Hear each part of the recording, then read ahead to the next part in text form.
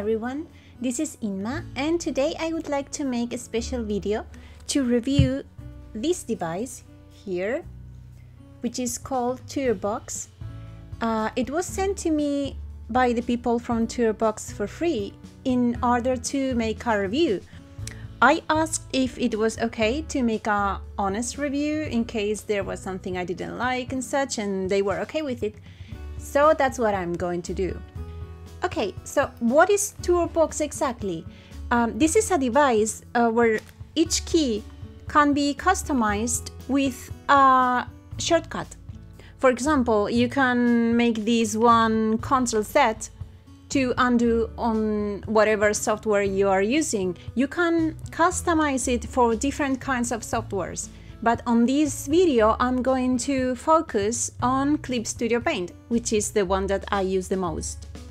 Before I forget, uh, the people from Tourbox gave me uh, a code which you can use to get a discount from this device in case you want to buy it and also a referral link which you, you can use to get it if you want. I don't know if uh, using the link automatically gives you the discount, you will have to check that out.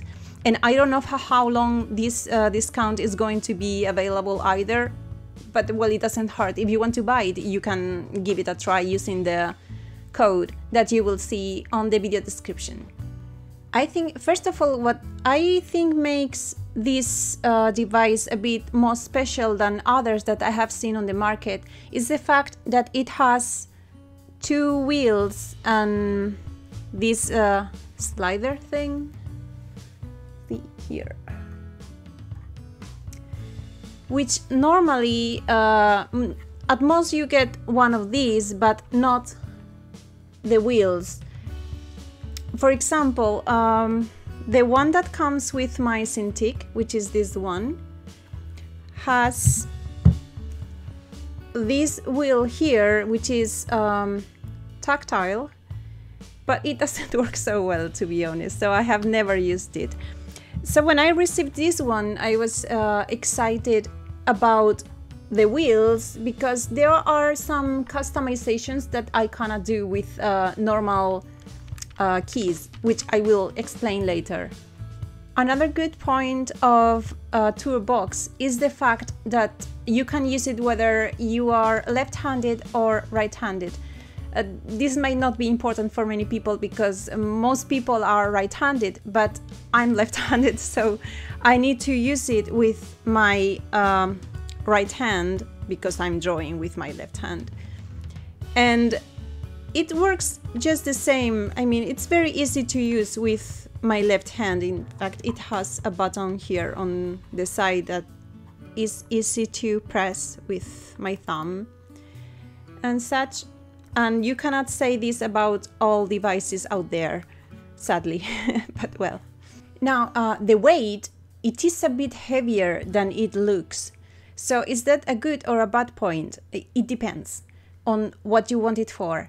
For me, I wanted to have it on my desk and the weight makes it very stable. Like I'm using it and it's not moving on the table. So that's, for me, it's good. But if I wanted it uh, to travel, for example, if I wanted it to be portable, I mean, you can you can travel with this, but it's heavier than it looks. So just take that into account. If this is for traveling, and then you need to take into account the whole weight of uh, your luggage. Uh, regarding the drivers, they are easy to install, but uh, when I was installing it, uh, Windows couldn't recognize the developer. So it popped a message saying that they didn't they didn't recommend me to install these uh, th these drivers. I hope they will fix that in the future, but for now, uh, the moment I installed it, I got that message, so for me that is uh, one of the bad points. Now let's see uh, what the console looks like. As you can see, you can have more than one profile. It comes with a few profiles by default, but none of them worked for me because they were for Photoshop or Lightroom, etc. And I have two profiles. One is for Clip Studio Paint, which is the one that I'm going to review on this video. And one for Filmora, which is the program that I use to edit my videos. When you mouse over one of the items, it will lighten up on the corner, on the left corner, so that you know exactly what, what you are customizing. All you have to do is to click and then insert um, the shortcut that you want it to have. And you can also give that shortcut a name, which is useful so that you always know uh, how you customized it because uh, personally I don't remember all my shortcuts. I just know them by name. So as you can see, uh, wheels uh, have an option called slow, which is so that when the effect takes place, uh, it doesn't go too fast. So depending on what you want it for, you might want to uh, enable that option or not. For example, I use the knob to increase or decrease uh, my brush size and I didn't want the brush size to change too drastically in, uh, in very short time, so I uh, enabled the slow option. Then, um, even though there aren't many buttons on this device, uh, you can actually combine some keys with, uh, with other keys. In the end, you get around 40 options to customize this device. Um, some of the options are very easy to press, like, for example, um, this combination here is easy to press. But there is a combination with this and this, and that one, that's a bit harder. so I'm not sure if it's comfortable to use all the possible combinations out there, but um, so far I didn't need uh, that many shortcuts. So that's okay. So when programming uh, one of these keys, um, at first I thought, okay, but if I have to press these two keys at once to get one effect, it's going to be a bit hard because I might uh, press one before the other. But uh, there's an option that you can add to these keys where uh, the action is only performed after you let the key go. So you can start by pressing and then press the other one and that's it. So it's not as hard as I thought it would be because of uh, that option. There's also the option to repeat the action uh, while you have the key pressed, which is also useful, especially for me, for the pad here. So far, the customization is really good. I really like the different options that it has, but there are two things that really bothered me when I checked what I could and couldn't do. Um, the first one is that there is no option to open uh, some other software. I have a different device um, around my desk uh, which came with that option and I customized it to open the calculator. This one doesn't have that option. I know there is a way to add um, a customized shortcut to open the calculator uh, anywhere on my computer. So I tried that. I gave it a shortcut and then I introduced the shortcut on my TourBox device. But for some reason, it takes a few seconds to open. And I don't know why maybe it's not a problem of this device, but uh, a problem of my computer being too slow. I don't know. But yeah, that for me was a small bad point. And another small bad point is that I wanted to customize uh, the device to have to control Spotify because while I'm working, I'm used to having a key where I can, which I can press and go to the next song but uh, there is no multimedia uh, options here so the only thing I can do is to look for the shortcut in Spotify to go to next song and add it to one of the keys The problem is that uh, that shortcut overruns one of my shortcuts on Clip Studio Paint. So while I'm using Clip Studio Paint, I cannot apply that shortcut uh, for any software outside Clip Studio Paint. So it means that while I'm using it, I cannot skip to the next song by using that uh, shortcut. So in the end, uh, there's no multimedia shortcuts for this device, which I hope that um, they fix in the future. I mean, this is a software thing rather than a hardware uh, thing. So I think it, it should be easy to uh, add that option. Okay, enough with the console and how it works. Let's see how I actually use this on Clip Studio Paint. On Clip Studio Paint, you can go to File, Shortcut Settings, and you can customize everything on the software. You can give a shortcut to absolutely everything from an auto action to switching to a different tool, switching between colors, etc. So this is where this kind of device comes in handy. So you can customize your tour box with uh, the typical shortcuts that you use. For example, the typical ones I use are um, an, an auto action to create um, layer to shade, which is created in multiply, blending mode, etc. Uh, one to change the color of the whole layer, which I use to edit the line art. One to select the current layer, etc. etc. Um, I didn't want to have the TourBox with the exact same customization that I did for my tablet keys, so I made something new which I'm very happy with, I have to admit. Let's see. First of all, I use the D-pad to move around the canvas when it's zoomed in. I applied the send continuous command function so that I just need to leave the key pressed for it to keep working. I use the scroll to zoom in and out, and when I press it, it adjusts the canvas to the size of the screen. This is very, very helpful. I use the dial to rotate the canvas and when I press it, the rotation is uh, reset.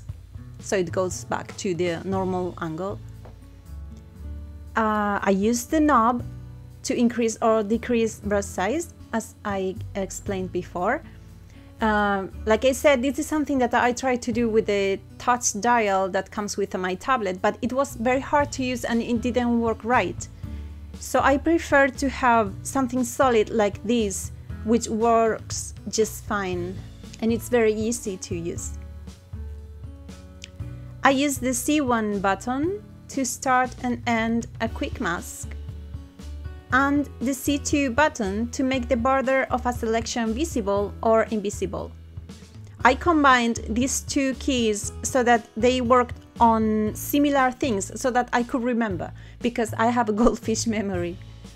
I'm using the tall key to copy and the short key to paste. Again, I used um, related actions for these keys because they are next to each other.